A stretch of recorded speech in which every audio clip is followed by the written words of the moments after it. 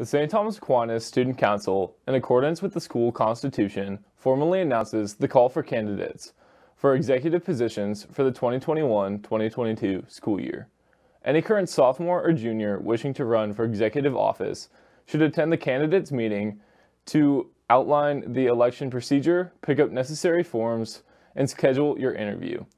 The meeting is Monday, March 29th at 1 p.m. in room 228. Questions? See Mr. Hammonds.